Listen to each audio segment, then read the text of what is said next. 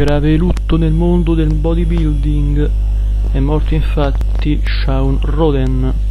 Aveva solo 46 anni d'età, era giovanissimo, era il campione di bodybuilding per eccellenza, fu Mister Olympia nell'anno 2018, era il campione più anziano di sempre, se ne va, ripeto, solo a 46 anni di età. Origini giamaicane, è stato purtroppo stroncato da un infarto che gli ha preso e di ciò ci informa l'allenatore Chris Aceto. Una vicenda triste, macabra, allucinante.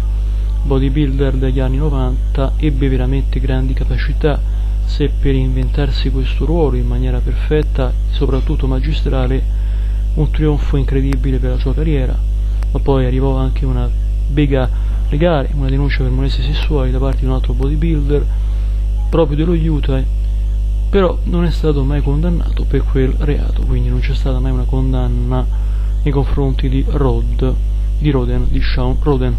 Shawn Roden ci lascia, ripeto, un grande uomo, il campione più anziano di sempre, un grande uomo sicuramente, però a volte anche chi fa questo tipo di lavoro, chi fa questo tipo di mestiere, si ritrova spesso e volentieri a morire per colpa di un infarto.